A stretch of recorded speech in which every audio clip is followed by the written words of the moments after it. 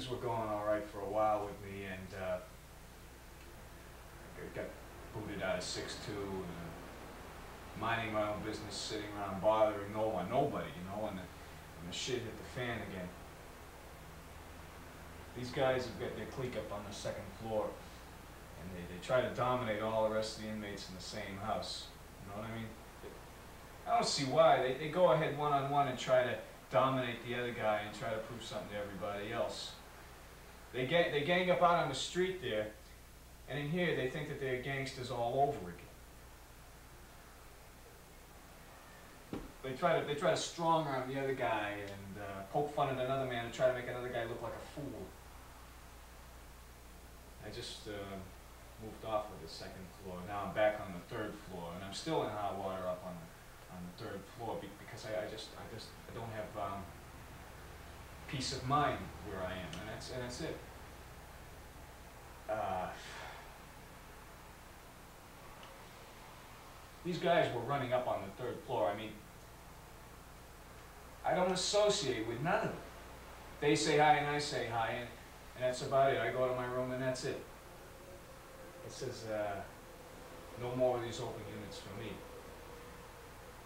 And I was I was getting along beautiful when I first came down here. I was I was in an open unit. I was getting along beautiful. This unit for uh, six months this this week I uh, I, I just I just want out of it. I mean through the through the last game of the series, I'm sitting there. These guys congregate down at the back where I sat. You know, I, I sat by myself.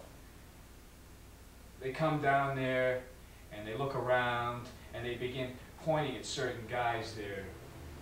And, and they make fun behind their backs and they say, look at Conrad, he's, he's hiding behind there. I see all of this shit. You know what I mean?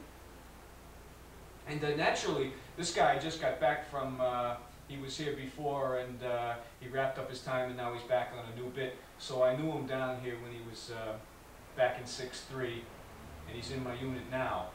Uh, um, naturally, he associates with me because because he knows me and I know him.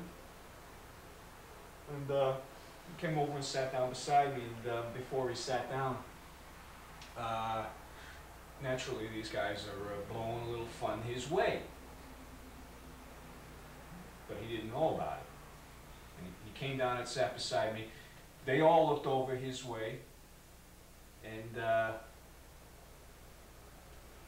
I was looking directly at them, you know. So I told him, "Hey, we got some maggots here today. They like to make fun of you behind your back, but they they won't uh, they won't do it to your face." And I said it uh, I said it loud enough for them to hear me. Why did I say it loud enough for them to hear me? To see uh, to see see see see, see what, what could be done about it. I was I was challenging them. That's right, right there on the spot. They weren't making fun of me, but that's what that's what that's what irritates. I, I don't like that being around people like that. I was letting this guy know that that that he was being made fun of by them guys.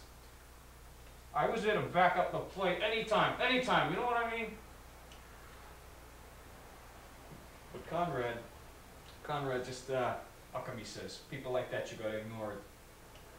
He says, they don't got the balls to tell you to your face what they think of you. They gotta go behind your back. So, I mean, you gotta ignore it. I mean, stuff like that, I just don't like to be around.